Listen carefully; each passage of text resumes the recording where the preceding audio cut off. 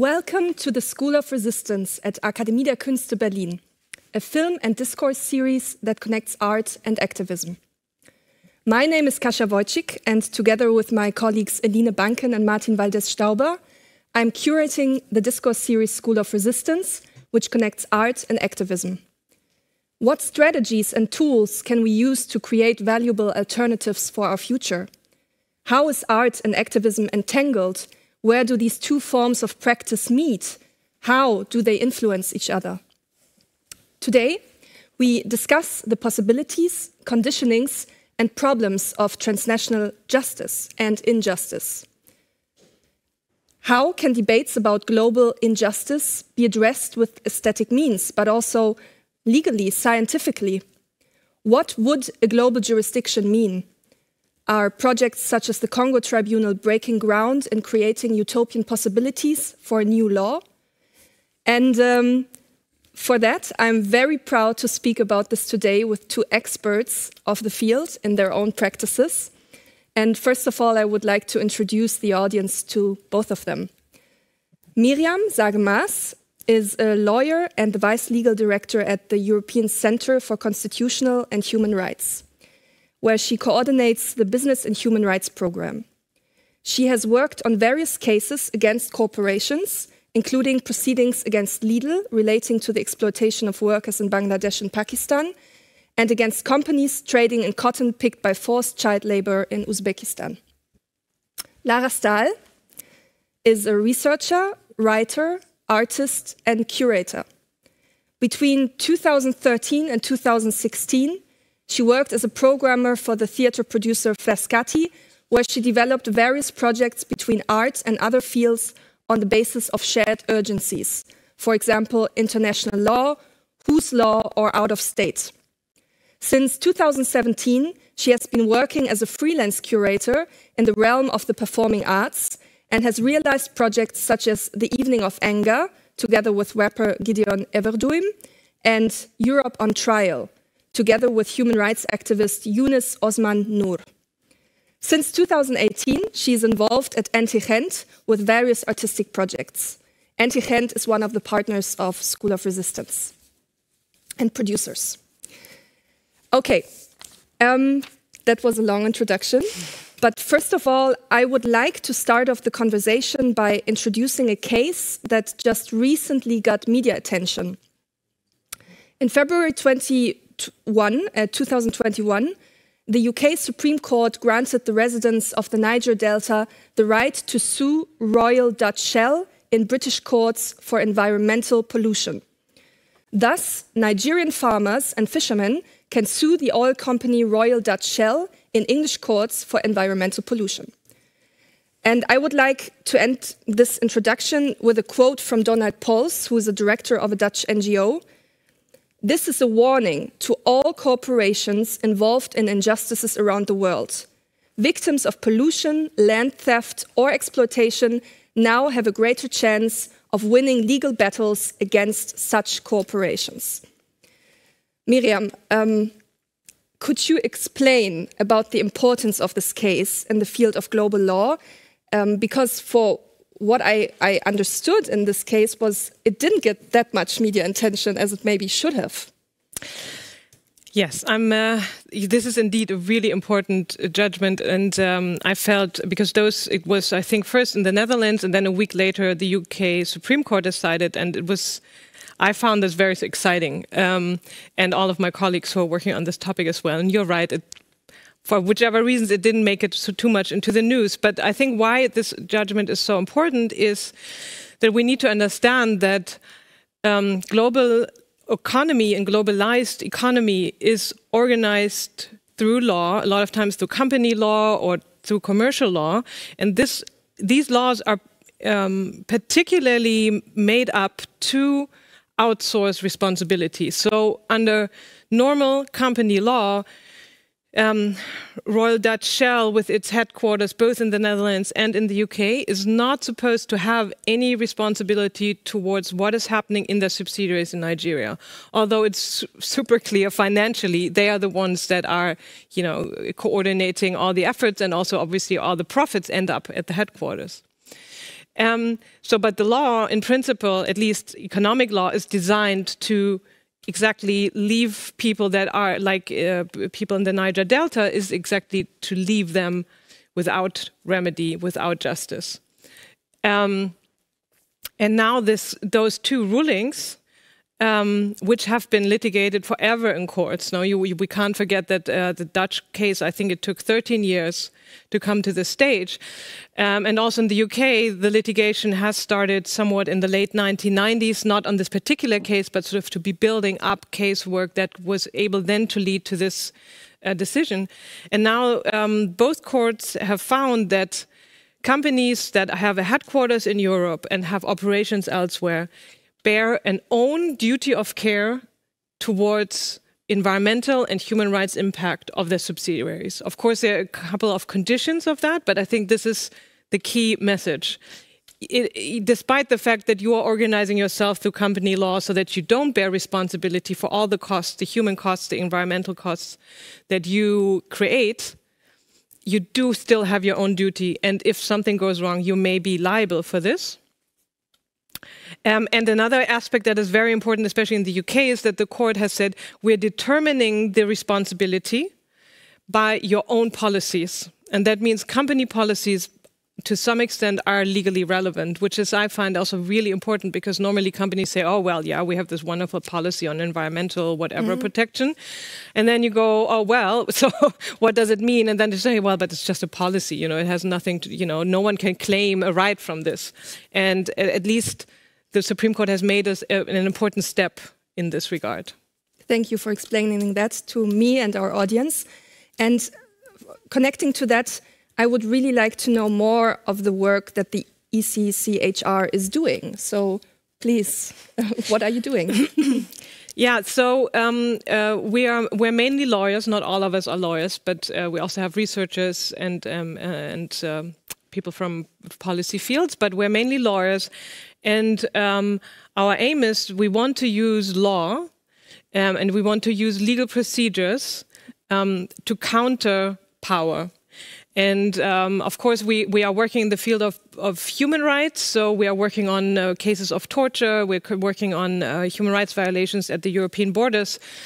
And where I'm particularly working on, it's about holding European companies to account for human rights violation abroad. And um, the idea is um, that we feel it's particularly as an organization that is located in Europe, that is located in Germany, and also um, that that it's it's you know the legitimacy of our work is that we're criticizing European actions um, and and those that are in power um, and not so much looking around everyone else's mistakes. Mm -hmm. Um, and how we go about this is we have um, we have created a wider network of or people or organizations that do similar work or people that are more in activism um, around the world in Africa, Latin America, and Asia, and we are regularly discussing uh, certain topics. So we've um, in through those discussions we've we've um, uh, come to sort of three core areas we are generally working on and in networks that we are also um, engaged in.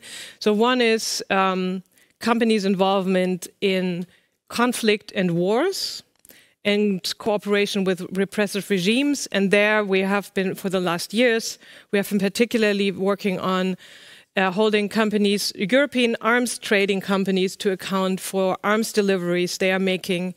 Um, uh, in the, la the last two cases we have been on Yemen, so we are holding them to account if you know German, but other also European companies delivering arms to Saudi Arabia that are then being used um, in Yemen on, for attacks against civilians. The other uh, um, area we are working on is the question of labor exploitation in global supply chains. Um, that's also an area that I'm, I don't know, I'm, have been working for for a very long time. Um, where also again the aim is um, yeah, to, to help workers claim their rights from the lead firms in those supply chains that where usually the power really is that do set the conditions of uh, of um, of the production process and with that all the human rights abuses and environmental harm that comes with it and then the third area we're looking more into the agribusiness resource um, uh, area and there we are looking at responsibility of pesticide company large industrial companies Um, but also the responsibility for of um, companies well involved in green energy, but actually you know just replicating the same exploitive methods as uh, any other resource.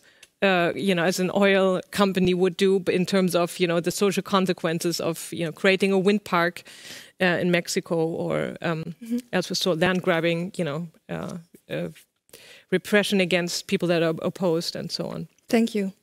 Um, that brings me to my personal question that I have to you, but also to you, Lara, um, because I think it's a question to all of us and to the audience.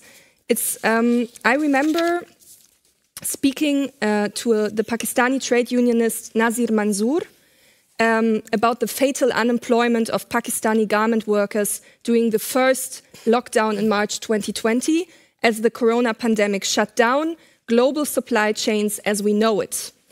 And he told me that not to buy these products, so garment products, is tragic for the workers involved. So, massive unemployment, all of that. And then my question is to you both um, what do you think or could be the responsibility as a global citizen, also from your practice as a lawyer, but Lara, your practice as an artist? Um, how can I support these workers and, and their struggles? Or how can I support other people who are facing injustice? Yeah, um, I think to start with, um, I think yes, the pandemic and and um, has been.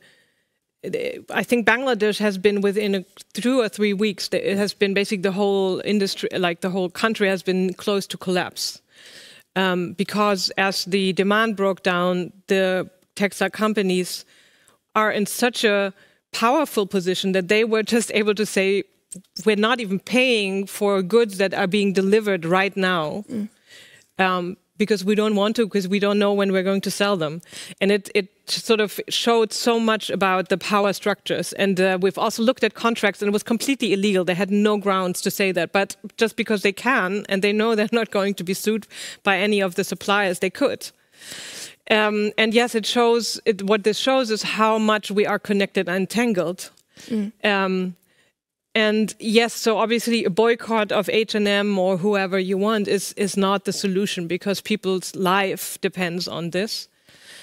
Um, at the same time, I would say, well, you know, I think we, we need to think about how can a just transition look like because this system is not it's it can't go on like this. We have planetary boundaries. Um, clothes are getting always cheaper and cheaper. Um, the and as clothes are getting cheaper and cheaper, what is ending up with supplier firms is less and less, and that means workers have to work more for less, mm. so that they produce more, so that we can consume more. So because we also also wages are not rising here, no, in mm. in Europe either. So it's clothes must be cheaper so we can buy more. And then we have those huge, uh, you know, masses of clothes that no one can wear and that need to be thrown away. So obviously, it's it's a, it's a vicious circle. And I don't think that it's about only our cons personal consumptions, consumers' choices that will stop this. Mm. I do think we need, every one of us needs to think about what are my ethics about my consumption um, but I think it's a completely neoliberal idea that uh, you know I will make the world better by drinking the right coffee or by buying the right clothes or not buying clothes. Mm. Uh, I don't think that this is the way we. What we really need is we need structural changes, um, and therefore I think it's a lot and leaves us with. Uh, not ethical consumerism, but but much more. We need to be politically engaged and probably also try to use our helplessness and our anger that this creates, right? Mm. Because I think we, we can't avoid profiting from exploitation. It's just um, unless you decide to, you know, completely withdraw yourself from everything. But unless you you don't do that, you you can't avoid this. And the question: How do we use this, and how do we um, and I think, you know, how do we engage? And for example, struggles for better rules. You know, this is something that's being debated currently in, in, a lot of countries in Europe that we say we want other rules and we want our companies to obey those so that we, we, we don't have it's not my responsibility which product I, I buy so to make sure that it has been hopefully produced under good circumstances. No, so um, and I think there are other ways of you know, there there are some initiatives that create those bound bounds between workers in Bangladesh and uh, workers also, for example, in H and M uh, uh, shops and so on. Of course, there are those smaller initiatives, but I think in general, it's we must be understanding ourselves as also political agent and as mm-hmm. citizens. Mm -hmm. That's interesting, Lara. For you, when I when when I am asking about the responsibility of a political citizen, what what does that mean for you in the terms of justice? Um, I think I can very much relate to what Miriam just said. I think there's something dangerous about mm, trying to answer this question on an individual level. And I think that's what happens a lot. What do you do? And it's almost this unconscious argument like, if you don't recycle everything, stop buying, well, how can you blame society? You know, start first with yourself. And I think that's a very dangerous discourse. And it um, also make creates a situation in which we don't feel we can as people live responsibility at our governments live responsibility at our um, the, the corporations organize ourselves create mass protests etc because we're constantly mm, mm, put back into this individual position. So i think that's very dangerous. Still it's a relevant question and of course i think it's easy uh, to think oh i'm a I'm a good mensch. I'm at the at the right side of history. You know, I think about all these things. And then if you speak to um, someone really living at the place where if I buy that trousers at H&M uh, makes a huge difference, it's important to hear that and to understand that things are much more complex than we think. On a very personal level, I cannot buy anything from shops like H&M or Primark or all these hor horrible things because I just it makes me extremely depressed and I think I feel that these shops are giving uh, an impression of a world that is impossible to continue. So that but that's really on a personal level. Like I don't think I make I I help with that decision or I do something very good. But on a personal level, it is so far from the real reality and from the reality to which we should be heading I, that I cannot see myself operating in that system, even though I know I operate in it also when I don't buy. Thank you. What I found very interesting, you both um, spoke about emotions. So you mentioned anger and you like the depression that comes from buying something. So how to use these emotions also in, a, in a political sense is something that interests me sometimes. But um, going now, because our conversation has its time limits, I, I would like to ask you, Lara, about your artistic work. And um, in your artistic work, you take a look at law with the tools of theater.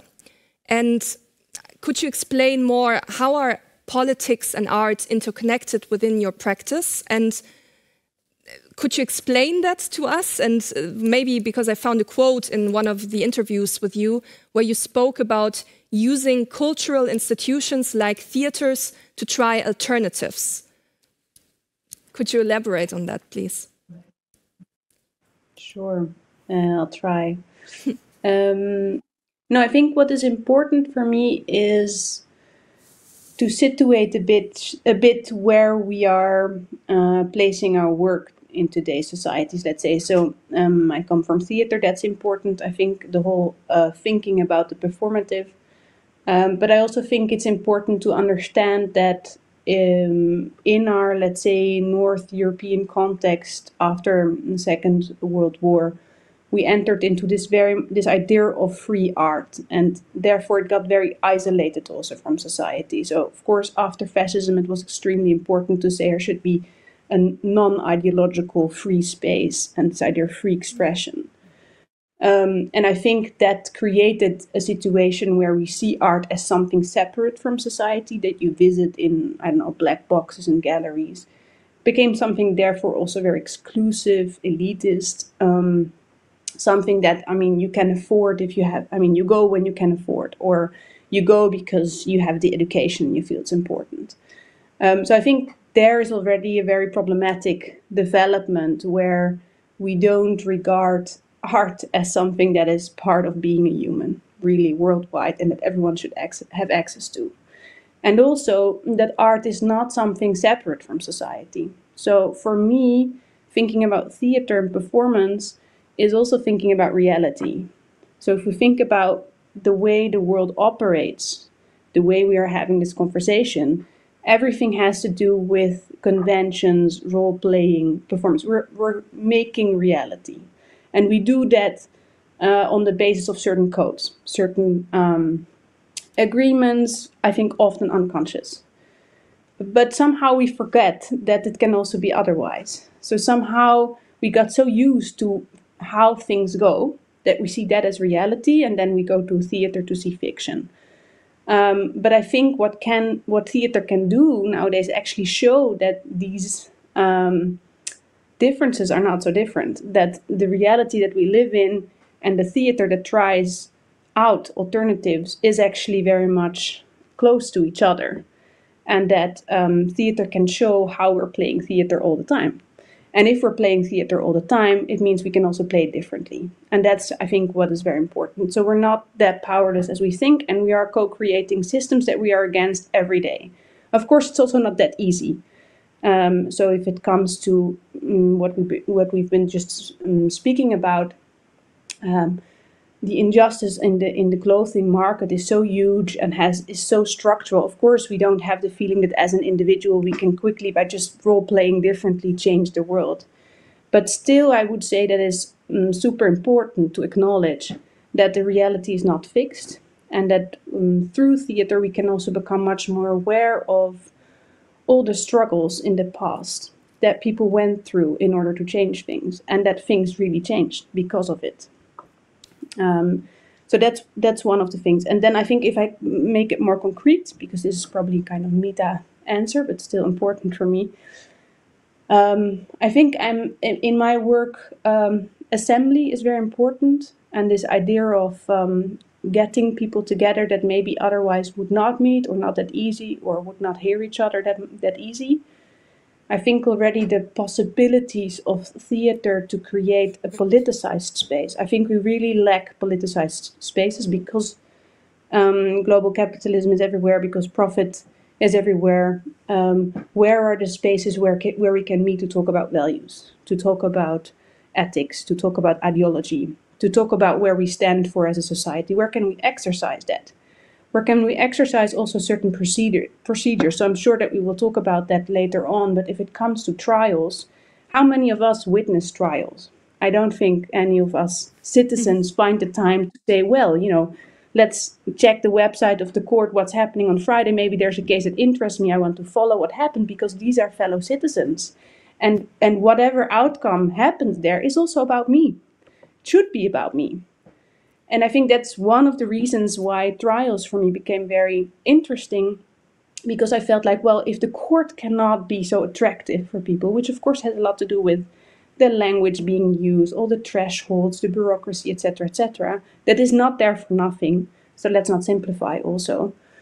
Uh, but maybe theater can play a role in that. And maybe theater can create a trial or a process or a people's tribunal or a political arena where people feel free to enter and to exercise um, appearance, articulation, thinking processes.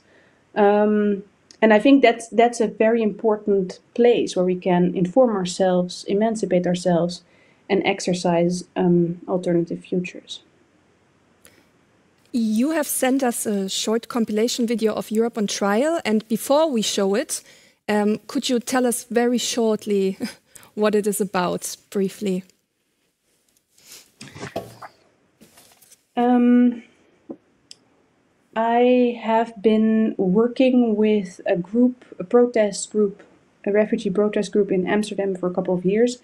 Um, they mm, are called We Are Here. And the title is very significant because what their protest was about was that at some point they decided collectively with a group of people to not hide anymore. So there's a systematic system in the Netherlands where people do not get asylum for various reasons because their identity hasn't been uh, clarified or because um, the Netherlands feel their countries are safe or whatever. Um, but for various reasons cannot be sent back. Uh, traumas, money, visa, whatever. And so they are put back to the street, basically, and with a message to just disappear. Um, and so this protest group was saying at some point, well, we are there, we exist, we are here, we are on the ground of this country, and um, you should acknowledge that. We're part of your responsibility.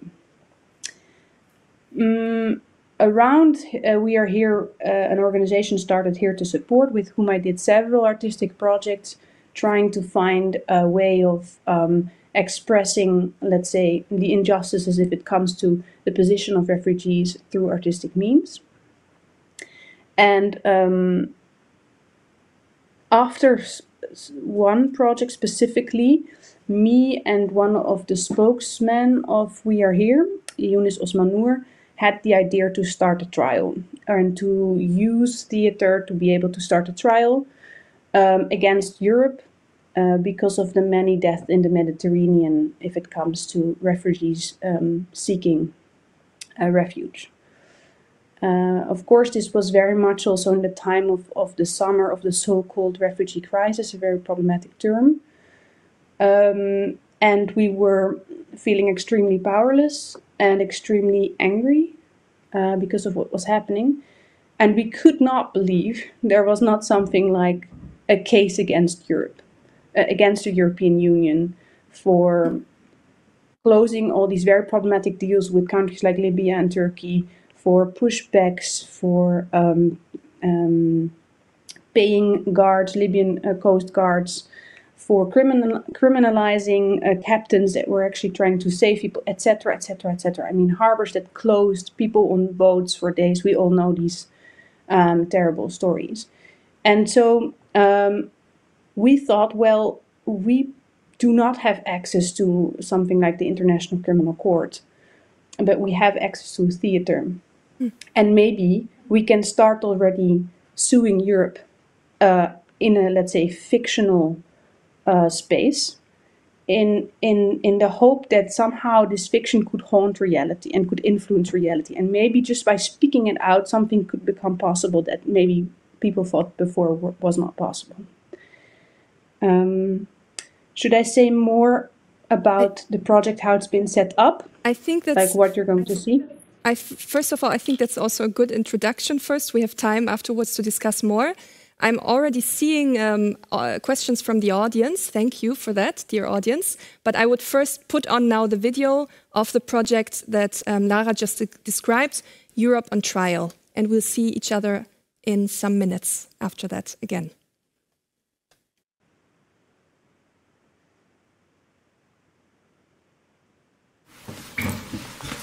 This might look like a stage and it might look like theater, but it isn't. It might look like a performance, but it's really about uh, addressing the real issues uh, and the real challenges. There is no lawyer that will defend Europe. The speakers will all temporarily step into the shoes of expert witnesses, defense lawyer, or prosecutor. But the most important role is reserved for you, the audience, the jury, but also the accused as citizens of Europe. Today I'm standing in front of you to accuse Europe of violations to human rights with regards to its asylum policies. I accuse the European Union of sending people back to places they've so desperately tried to flee, for being obsessed by statistics instead of ethics. Nobody chooses to be a refugee? I would say that by asking the European Union to live up to its moral obligations, we should be very careful in a time of mass migration, in a time of disruption of many countries surrounding Europe, to safeguard the moral middle ground and not overstating attributing guilt. Are we willing to do as much as we possibly can? And the answer can only be yes or no, and it cannot be yes, but. Say aye. aye. I call upon the indictment of Europe for colonialism. And before we think it's a thing of the past, let us remember of the ever morphing neo-colonial practices of political control, occupation, ex economic exploitation, and a multinational corporation. Say aye. aye. I call upon the indictment of Europe for structural adjustment programs, constant growth, growth, growth, growth, growth, growth. At what cost? At all costs. Immigrants have become uh, a political capital of sorts for political parties. It's politically more sound to keep a problem in place than to actually solve it. I come by a boat. I never had passport in my life. I lost the possibility to live a normal life because I'm just not good on telling my story. I stand before you because the Dutch asylum system has failed me. My interview was a, a very big challenge to me because the questions that were really asked, most of them were very intimate. I belong to the LGBT community. Where I come from, in our daily life, we don't normally talk about the kind of people we are I stand here in front of you as a witness in a court case. A contemporary witness gives an account of time he or she has experienced and which now passed into history. I cannot tell about the time I have experienced, but I can tell about the time I have not experienced, the time that was stolen from me. The real effect of asylum law, among others, is the intentional prolonging of the periods of time in which certain people are dependent. Europe completely drained Africa and the Middle East, drained it from resources, drained it from abled bodies. Time is money. They drained it from time. This is the debt that Europe owes everyone around it. And while there were no actors in this trial today and we're standing in the historical court building of Amsterdam, we might see this event as artistic, or in other words, not real.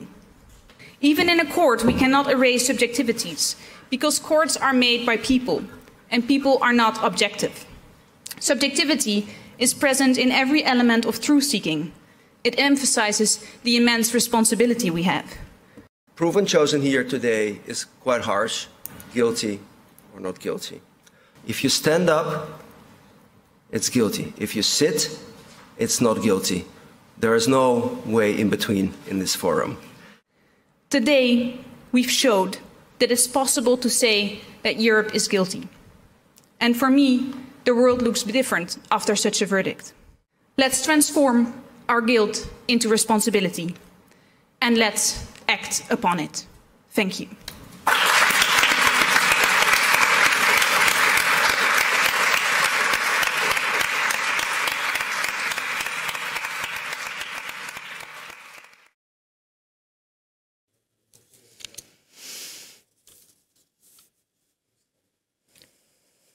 So, um, for me, the interest, interesting question, and for our audience too, um, is Lara, how can art transgress art in the sense that it becomes reality? So, that is a question from the audience. And could you answer to that?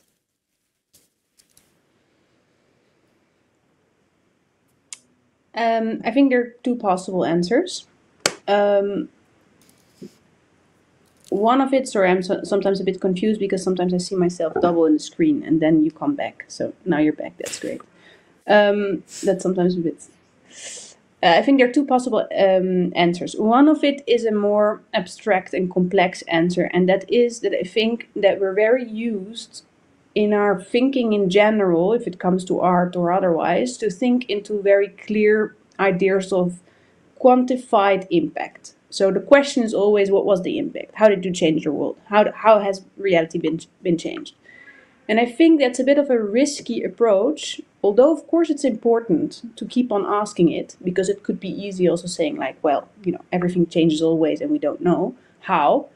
Um, but it's a risky approach because I don't think that's how democracies work. And I think that's also not how history worked. And I think we can see that. So I think at the basis of a lot of things that change in history, there have been multiple struggles. It's almost never a linear story. It's almost never the story of one hero deciding something and then masses of people would follow and then for days there were, was a process and then bam there was a new law it's almost never the case it's after years of years of hard struggle invisible struggle precarious struggle and the moment that is right and that the society is really able to put so much pressure that there's really a change uh, is not something you can direct or top organize top down and is something that makes us often forget all the hard work that has been done years before. Um, so I think it's a bit the same with this, with an art project that um, it is difficult to tell how Europe on trial changed anything because it's often processes that are also invisible. So it's often about many conversations that happened afterwards. People seeing a work, people participating, people then continuing certain things, um, ideas that are generated through a project. So it's it's in that sense um, hopefully every project creates some sort of change and that's not always seeable or quantifiable i think that's which doesn't mean it was not useful. I think that's one part of the answer. And the other part of the answer is that i think that it's very important to uh, form alliances. So i think one of the consequences of this idea that art should be autonomous or free expression or in a free uh, non-politicized space is that we artists often work alone or feel that we are the real creators and we have the imagination and and we come up with these um, fantastic ideas and that's really something for me personally that's interesting in interested in political art um, is um, um a reason really to to see artistic works as something that always are in alliance or in collaboration with other organizations, with political organizations, with NGOs, with legal organizations. And that it's very important that if we are serious about ourselves, that first of all, we cannot solve the problem by, by ourselves. Second of all, artistic mm, production is often very precarious, very, I don't know, it's one moment, one subsidy, never enough, people overwork, blah, blah. So it's very important to have strong institutions that are able also to, to create more sustainable uh, work or lines or continue the work afterwards. Um, you need expertise. You need people. So what is great, I, I think that uh, something that artists can do is this role of the amateur, right? I'm not a lawyer, but I'm interested in law and I'm interested in trials, and I'll just try to create my own trial. You know, and of course I've been speaking to lawyers and to experts, but because I'm an amateur, I can have this bluntness. I can just do it and and try to change it from within because I don't have all the rules and all the all the details in mind. And that's something good. But on the same time, I need someone that tells me, well, what you're now going to do is very problematic. Or here, I see a lot of potential. You should just go deeper. Um, so I think one of, I mean, crit- my critical point after Europe on trial was that it was not embedded enough, and that it's very important that if you're serious about your political aims, that you really start to collaborate from the beginning. Yes, thank you, Lara. So for me, the question also was um, in your project, um, Europe on Trial. Putting Europe on trial is different than work you do, Miriam, in ECCHR. Um, it's more of a symbolic accuse of a whole community. Um, and this is a question now to you both, um, because we see the atrocities that are happening at European borders. We know about them. And um, can we put Europe on trial? Uh, first of all, that for, for you, Miriam? Um, yeah, there, there, there are a couple of that actually realized into into actually real legal actions, and um, in, uh, but I would say no, you cannot put Europe on trial because in law, a lot of times you do need to uh, argue for, you need to have a very fine argument on attributing responsibilities. And I think as law is made up, I don't think law would have to be this way, but as, at the moment, as it is made up, you know, there are a number of bar barriers to arguing this. Um, but still, I think sort of on how we try to go about this is to say we, we want to stay within the boundaries of law and sort of the the, the or the the a variety of legal arguments you can use, but then you know push the law it, a step beyond that. And um, sort of to be to to say because we do want to be taken seriously in the sense of that this is a case that everyone really needs to look into seriously that you know the judges cannot just dismiss and say oh this has just been made for publicity. But again to be still thinking is how can you go a step further with that? Um, yeah. Which is interesting because uh, art can actually do this also. yes, and, and I think I, I really like what Lara just uh, just said because I think also this idea of creating um, a space where you can think about something alternatively, you know, or where you can say, you know, the future could be different. Um, and I think this is very much uh, also how how I would see. Um, our cases, you know, because it's it's um, we actually also have the same debate. So of course, you know, critical lawyers say, oh, you know, what do you think? What is you know, is law ever changing reality? Is not using the law meaning reinforcing the whole system and reinforcing mm. power structures? Da da da da. And to some extent it is. And then the question is so it can law ever be emancipatory? Can you ever use it for something different? And then I would say, well, you know, I, am also not really sure. I'm I, not one case, even if it's one, is not going to change everything. And, and I also think it's, it's exactly this. You know, you need to work in broader alliances. It cannot be just the experts on law. It must be political actors. It must be people on the ground. People must be the claimants. Need to have, I think um, at best know what their political goal is actually also beyond this. Why do they want to go to court? What is it that they want to claim there? Not just to hope to get justice because our justice system is, you know, difficult and often not, you know, giving justice, but so, you know, but that you can work with what you, why you're bringing this forth. Um, and, and I think so one example is, um, the case we've been doing with Pakistani workers that have lost family members in a large factory fire in Pakistan in 2012. And they went to the court of Dortmund in Germany um, and claiming compensation from the retailer that had ordered the jeans that their children were producing and that died then in the fire. And I think this moment, you know, there's everything. The law says we're all equal, which in reality they are not equal. But this, you know, this woman and those other, like Saida Khatun um, and the other three claimants, they are able to go to court and say, for this one moment, imagine what would the world look like if every Pakistani worker could go to the court of Dortmund and claim their rights for every vi rights violation, if that was standard. Mm. And then if it was standard, that actually KiK does wear, bear responsibility, that they actually do have to care what is happening and that they do need to make up for the costs that their production causes, the real costs, no, not just the little money they pay for the product and and I think sort of you know you have this also in in this in this courtroom, and it's of course asking this question. Say it could be different, and she could win now. Mm. It's it's we've out, laid out even legal arguments why this would be possible to do, and we know why you know judges refrain from doing this and don't want to do this, and how the company defends. But I think it's also this creating uh, something that you can think differently about rela power relationships, about justice, and about how how powerful actors should be held to account. And um, Lara, in that sense, interest. Oh, yeah, sorry. no, I just I was thinking because it's interesting that we see that a lot of um, cases lately. So I would be interested to know how you feel about that, Miriam. But in my opinion, or my, from my perspective, I have the feeling that the court became at certain places and moments these last years more and more politicized, and that it has been used also by activists. So almost this feeling of like well, um, let's say conventional um, protest doesn't help that much in our mediatized world, etc. So what can be other ways? So if we look at the Urgenda case in the Netherlands, for example, where the Netherlands was sued because they don't actually live up to their own promises if it comes to climate change. Uh, the Shell case, um, that's quite interesting. Let's say, and I know that in the Netherlands there is this huge debate of, oh, this is very problematic, our trias politica, and you know, the court should be neutral, and now it gets politicized.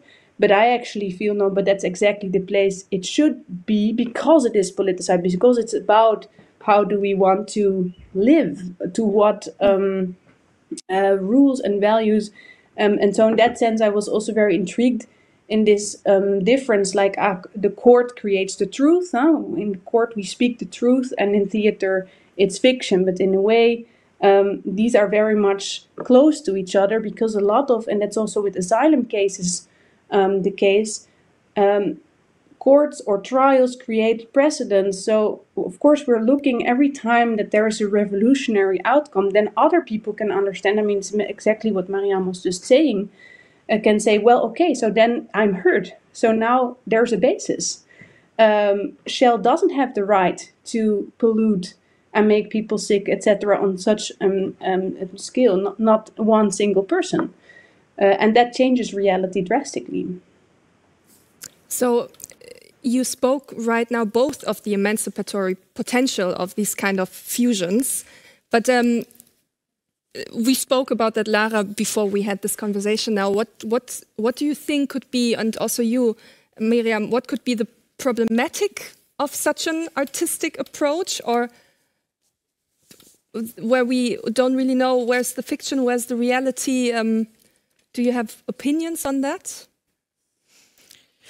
Um, I, I, want to move a bit. I have, of, especially opinions about when can courts also be problematic, and and I think um, uh, one remark, you know, this idea that courts are neutral is uh, in itself well law is always politics political no and courts are political and i think if people then say oh this is getting politicized it just means that uh, the hegemony of a certain political thinking is being challenged, right? And that makes everyone feel uneasy. But it's not like, I mean, everything, you know, I don't know.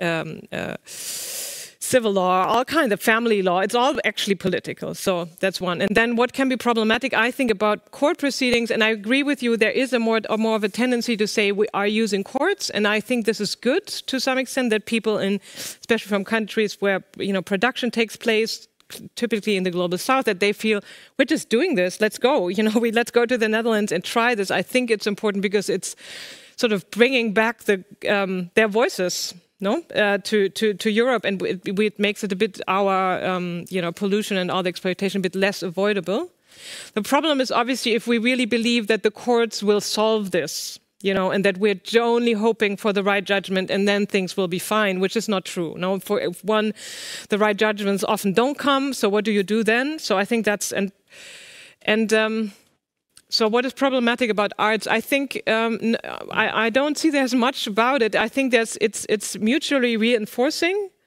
and I think sometimes what I do feel we don't as you know probably you know setting up a fictionary court is easier to some extent because you don't have to stick to all those technicalities and stupid rules. Um, but at the same time, I don't want to sort of. I think it need, needs to be both because we need to use the real law and challenge the real law. No, so I think it, it's simply not. It's not an either or, and so that's why why I think it's it's how how to um, re, you know use both tools to mutually reinforce. Yeah, no, I very much agree. I very much agree. By the way, Kasia, you were saying that uh, there's like can it can we put Europe on trial? But a year after our project, and of course it doesn't have any direct relation, but this case lies now at the ICC, the International Criminal Court, uh, by two lawyers that um, accuse the European Union also for their uh, deals with Libya and the relationship to Libya if it comes to the many deaths on the Mediterranean Sea. So that was good news. On the same time, of course, this now takes years to investigate if it's really a case, and then it hasn't even started the process. So um, I think that's a good example in a way, like why uh, we didn't want to wait for that, and we felt there was a people's consciousness or a people's moral position that needed to be addressed. So let's not only wait for the institutions, but let let's first already take responsibility or try to take responsibility. So that is also why it's not a classical trial, but it's a people's tribunal where the people were actually that were sitting there were both representing the accused as citizens of Europe and the ones voting also. So it's kind of making a judgment about yourself or your community. Thank what you, can be problematic about art? Um, one of the things that, that was very difficult within Europe on trial is the, the people that were um, working with us from We Are Here and from the, um, the, the, refugee shelter. Because, of course, um, they stand there and they, in a way, finally have a space where they can speak in their tempo, in their words, and they can be heard. On the same time, uh, this project couldn't in any way offer them a different reality. And so I asked them to go through their pain, through their wounds, have this hope, this excitement of the possibility to be heard, and then there's nothing, right? They just go back to their same shitty situation where they don't even have a roof above their head during the day, they need to be on the streets. Um, um, I mean, I can go on and go on about mm, how difficult that, that life is and how unfair. Um, and, and I think that's why I wouldn't do this again without stronger partners because you need aftercare and you need to offer some sort of perspective and you need to invest. If you're serious about it and you you ask them to trust you and to share their stories um, you need to to offer them something. And uh, and I think that was this was a very precarious project on a lot of levels. There wasn't enough money resources blah blah. And that's not then then it becomes a, a dangerous thing. And I, and I think we handled it well in, in the way we could. But uh, ideally, parallelly, you should invest in a real in a real case course, right? Yeah, absolutely. Lara, you you just spoke about the people you worked with, and in your next project, um, you the state of justice. You are um, looking at or working together with Samuel, and um, I I would just really ask you what are the stories of injustice you're working with on the personal level? Because we just spoke very meta about everything, but can you share maybe this new work coming up? Yeah, so in a way, it's a, a kind of part two of Europe on trial, but then completely different approach. Um, I think the whole situations, if it comes to uh, refugees and asylum policy, didn't got better, right? It only got worse if you ask me, which creates a lot of questions around how to deal with that as an artist or curator or whatever within artistic means as a as a political citizen. Uh, because in a way I'm I'm I'm even more angry. I'm very bitter. I find I find us in a very dark in very dark times. So where do I find some sort of um, hope or idea that it makes sense what I do. And then I think again, this question about where do you place it? Uh, because what does it mean to, so maybe, sorry, more concrete. Um, it's still working with Here to Support, and we are here. And um, they have observed these last years that there's a huge group of uh, minors or teenage um, Eritrean boys and girls coming to Europe and uh, they are often in extremely vulnerable situation they've been traveling for years because it's really hell uh, what they go through to even reach the mediterranean then the boat then arriving in italy or in switzerland. Very bad circumstances. Um, then they, they travel to, to the netherlands for example and they again have to wait. And a lot of these cases are being denounced so they're, they're not acknowledged uh, which is strange if you ask me but moreover, they're often not treated as minors. And that's, of course, a legal thing. So if they can prove that they are under 18, they enter into different law and in a different framework. And often they cannot prove this because they don't have a birth certificate and they have to ask family members to witness because but they're far in dictatorship and stuff so it's very complicated and often they traveled so long that they were 14 or 15 when they left home but they they the moment that they reached let's say the immigration office they maybe turned just 18 and then they're treated very differently or 19 or 20 but in a way they they are completely traumatized teenagers still. And this is not uh, not at all acknowledged in how they are treated. And i work with one of them uh, samuel and we're trying to uh, create a monologue based on his dossier, on his um, story, but on the same time on many similar stories because it's really a bigger problem for him. That's also very important to underline. It's not about him as an individual. And the monologue is constantly playing with who's speaking. So, who's speaking here? Is this the boy on who the case is based, Samuel? Is it the actor that performs it? Is it the author who wrote it? Is it the many other similar cases that are happening?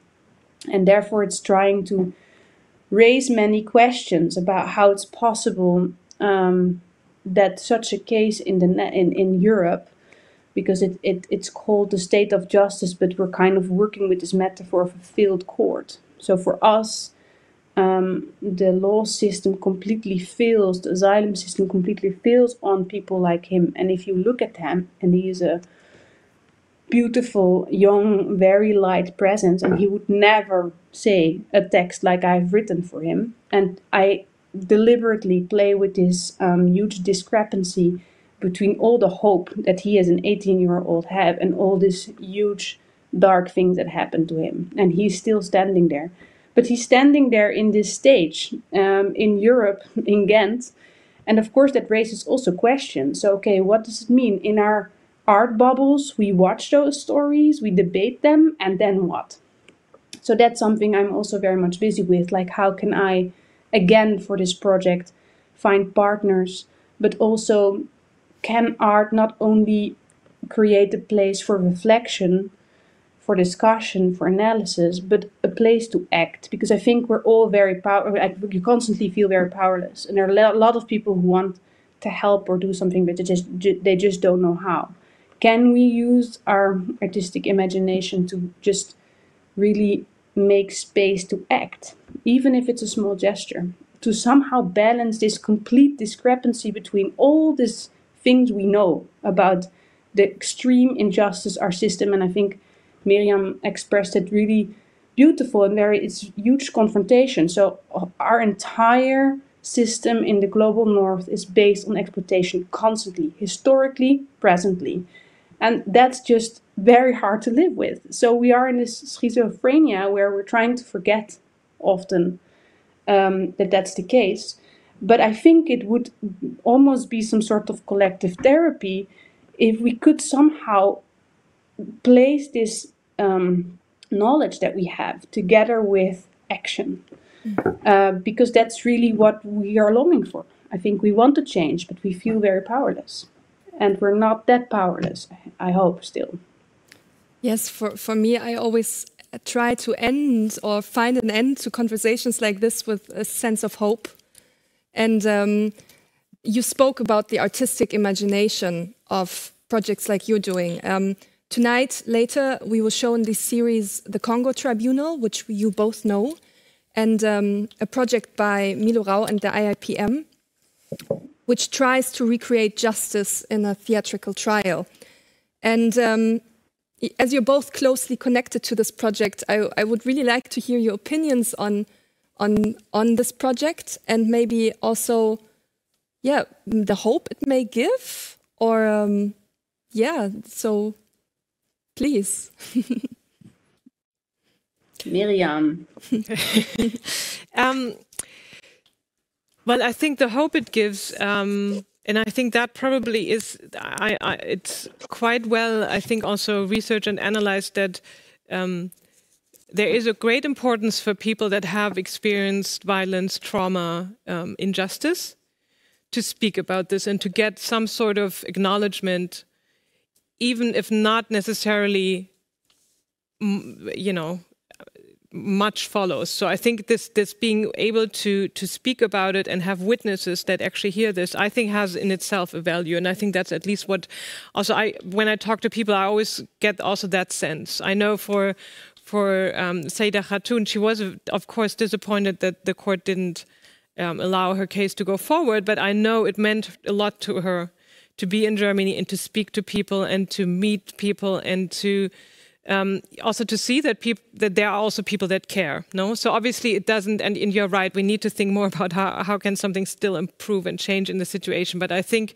Um, lives can also be touched through this, and I think also people can um, I think they've always had dignity, but probably they can experience their own dig dignity in a deeper sense or in a different sense. No.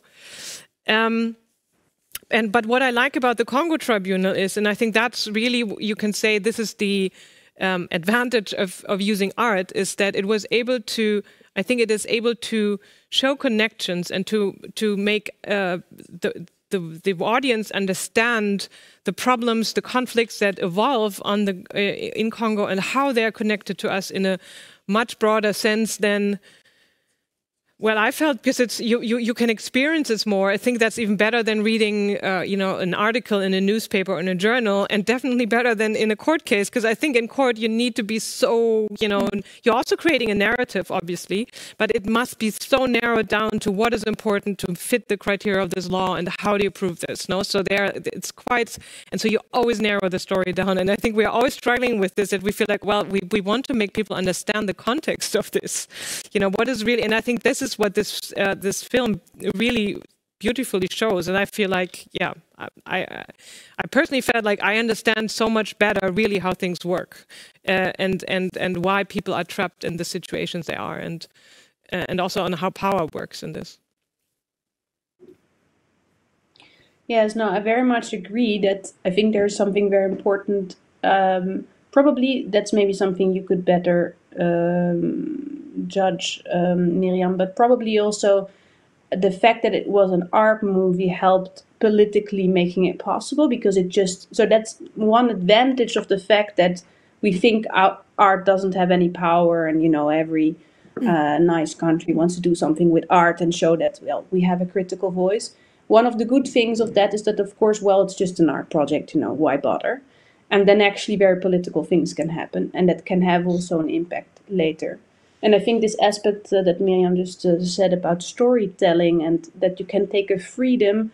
Therefore, for example, for me, it's extremely important to work with artists and spoken word artists also in, in, in fictional court, so to say, uh, or in assemblies, is that I think there's something about the speech act um, that can have much um, wider reach, and that that's very important. In a way, I would love to look at cases uh, and, and, and procedure, judicial procedures with artists. If it comes to dramaturgy, if it comes to rhetorics, because I think there's something that can be more accessible and then the political aspects can be also much more part of the debate. And then you already you would have probably much more porous walls between what's happening in, in court and what's happening in society. Um, and I think that's that's very important. And I think the Congo Tribunal does that very beautifully. I think uh, it's a beautiful example of how an art project can have real impact, not only for the people being hurt, etc. But there was this governor that really resigned. So I mean that's that's huge. Um, it does also raises questions, like it means that Milo Rau as a white Swiss male director needed to, during the procedure, make friends with all sides, with both parties, right? He had to gain the trust from both uh, sides in order to make the procedure happening. And I find that interesting and problematic, and um, it still keeps me busy in a way. He needed to gain the trust of that governor, and he was able to, and it was actually very important um, because that made it possible for the people there to really share their rage, right? To the people, because that's often what happens, I think, in our art projects is like, why are the people responsible not sitting here? We don't get the people from the big corporations, we don't get the right wing voters in our spaces, right? So we talk about them, but we want to speak to them in their face. We want to, and it's important. Um, and I think that's so it's both, let's say, something I admire extremely within the Congo Tribunal project. And I also still keep on questioning what it means morally. And maybe there's something about this outsider's position that Milo had that made it um, that made that possible. Maybe having privilege also means that okay, you need to sometimes step over your own ideological position for a greater good. Um, yeah, that would be, let's say, the very no, I, I, no, I agree with that. And then I have a question if it comes to um, the way the project has been crediting and the way the project have been placed into the world. I sometimes feel that we are still very much an art system that creates this kind of Milo Rau artist doing this Whereas it's so clear, and then we come back to alliances that many people worked on it, many Congolese people, many organizations, many lawyers. Miriam was involved, so many others. So I mean, I feel sometimes that we these kind of projects could also be emancipatory in that sense. This was not a single man's project, even though he's super important and he should be there. but it's a it's a collective project, and that made it possible, and it made it also possible to have this huge impact. And then I think the consequence of the um, hearings that still continue, and I just saw today that uh, video. I was thinking this is so important. It's it didn't stop with that project. It's still continuing. The hearings are continuing. The project was given to other people to continue. That should become a second movie because this first movie is maybe very much, let's say, the sensation and the interest, and it's an extremely important movie. But then the hard struggle starts, right? Okay, and now how to continue, and that's happening. And I would love a movie with the same amount of attention for that process as well. Thank you. Regarding to the time, I, I remember one last public uh, audience question. It's um, a little bit gone now from my um, view, but it was about the question of um, timing. Mm. And um, you said, so maybe because we're also timing our conversation now, maybe the last questions to that. Um, how late are we? So, like, we're doing all of this and um, but yeah, what is the what is the idea of timing in in the art or, or the practice you do, and what has to? Do you understand my question, or should I rephrase that? well, I um, well, timing. I, I, can think of two two aspects of this. So one is I thought like, oh, that's so interesting because we talk a lot about this the question. So, you know, how do you create impact with a case? um, because there are many cases and you can all have all great arguments and you you may still not have much of an impact in the wider political debates that might be necessary um, and so, of, yeah, and so timing and when you file the right case is important. So already, by the way, you know, legally, it's important that you don't miss your stupid statute of limitations period time. You know, so it must be on time. But also, you know, to have a wider impact, it must be the right case at the right moment. And I don't think it always is. No, I think that can be sometimes where you feel like, well, this, you know, in this current political debate, it will not be picked up in the right way. It can be completely understood wrong, and so on and so on. I think so. In that, in a narrow sense, timing.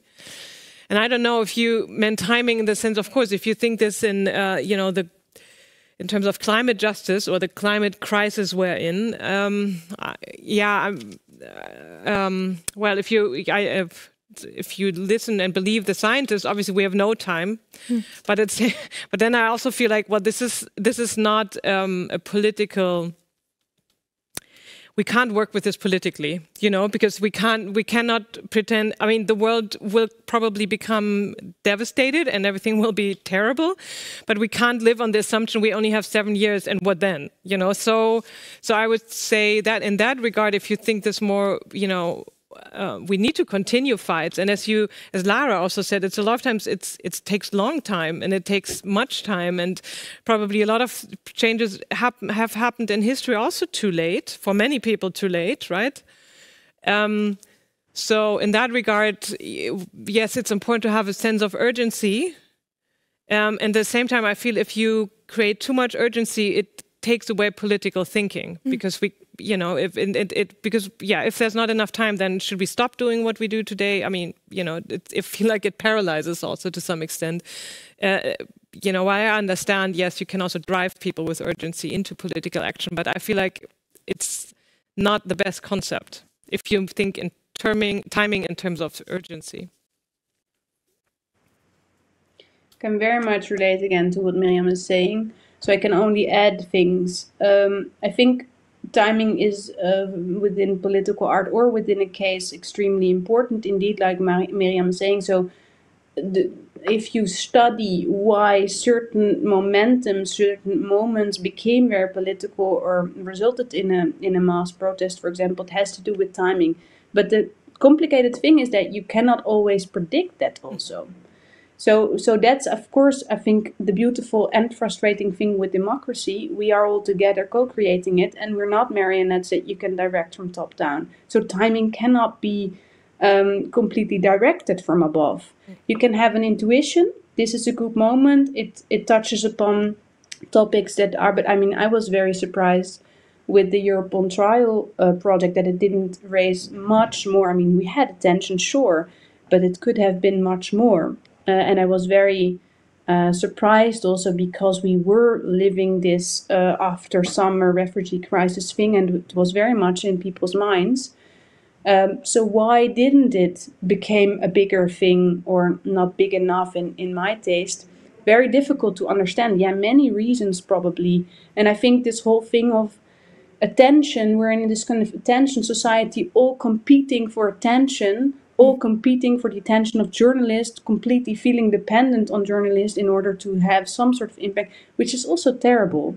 So sometimes it also helps me to think, you know what, you do something because you feel it's urgent, connected to other people's urgencies, and you feel, well, at least for us this makes sense, and it would be beautiful if it, you know, the bomb bursts and it gets, you know, infected and so many other people will come along. And if not, it doesn't mean it was useless because in the end I agree with Miriam like you can you can wait forever or the or the or the right moment but we're anyway too late. And indeed that doesn't help. So I think this feeling of we're too late already which I think is very strong for certain of us for, for some of us is more paralyzing uh, although it's still i mean it's it can be effective i think because a lot of people are still so much busy with short term it's not imaginable how that is still possible. Um, so it's not a completely useless concept but uh, we need to make it productive and things cost time. We're in democracies it's slow processes uh, and there are reasons for that also. So i don't know i i tell myself again that some struggles took very long, but in the end did make a change. Yeah, uh, I, while you were speaking, I, I had to remember one um, one thing I like to like one example from history I, I find very interesting that is um, the Nuremberg trials and then the Frankfurt trials in the 60s, right? So the Nuremberg trials obviously were the birthplace where this idea of individual responsibility for grave crimes was put out for the first time and it had very little and so it's groundbreaking absolutely important but it had very little resonance in the german public. And um, it did not uh, create a different narrative as to you know it was hitler and a couple of bad other people very up and none of us you know everyone else has nothing had nothing to do with this um, and so, and then obviously it took until the mid 60s that um, the Nuremberg, uh, the, the Frankfurt trials could start. And obviously they happened also not, it was not just Fritz Bauer as a prosecutor putting this case together. Obviously you can, it was Frankfurt, it was a particular point in time. Uh, you know, you had the Frankfurt school, you had, uh, you know, social democratic um, govern, uh, like government of, uh, of Hessia. And, um, and so it took all those circumstances, and that trial really had an important influence on the German debate and perception of everyone's and order, more order, well, basically ordinary people's responsibility, you know. And and so I think that's, but and, and obviously in between Nuremberg and Frankfurt, there was people worked on this. Fritz Bauer has been working for this for a long time, and he was not alone, no. So, um, and so I think again, also of not alone, larger constellations, and and I think that is where I find like, well, you know, so at a certain point in time, work can have, or for me it was, you know, law and legal procedures can really have an impact on a wider and really change realities, I would say. But obviously, you know, it's it's not plannable as you've put this also out well, you know, and we can't know exactly always, no? Thank you, Miriam. Lara, Miriam, I took a lot from this conversation. And I'm very happy that you both met today. And um, thank, you, you, to the audience for asking these very also important questions. Um, at 7 p.m. Uh, Berlin time, we will show this mm, before mentioned Congo Tribunal. For all Facebook watchers, please uh, switch to www.adk.de, www.adk.de, where you can watch uh, the movie.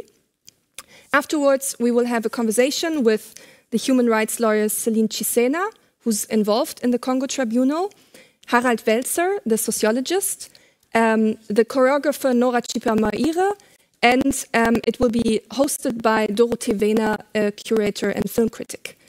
So, thank you all for watching. Thank you for being here, Miriam. Thank you for being here, Lara.